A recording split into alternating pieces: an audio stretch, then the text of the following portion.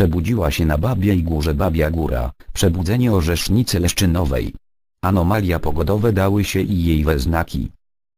Jeden z najmniejszych przedstawicieli popielicowatych w Europie, orzesznica leszczynowa, przebudziła się na Babiej Górze.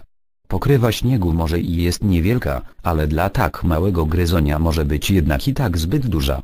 Trudno też powiedzieć, czy orzesznica jest w stanie ponownie się zakopać, mówi przyrodnik z Babiogórskiego Parku Narodowego Maciej Marzul.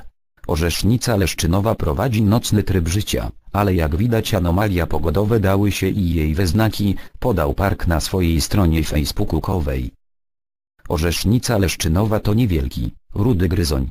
Jesienią zapada w sen zimowy.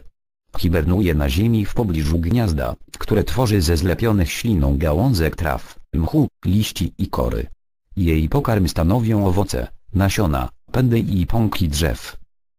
Ostatnio termometry pokazywały nawet 12 stopnia. W momencie, kiedy się gryzoń obudzi, a wokół nie ma jedzenia, to szybko może utracić pokłady tłuszczu zabezpieczające przed chłodami zimą. We wtorek temperatura oscylowała wokół 0 stopnia.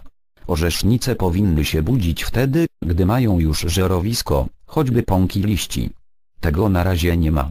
Pokrywa śniegu może i jest niewielka, ale dla tak małego gryzonia może być jednak i tak zbyt duża. Trudno też powiedzieć, czy orzesznica jest w stanie ponownie się zakopać, powiedział.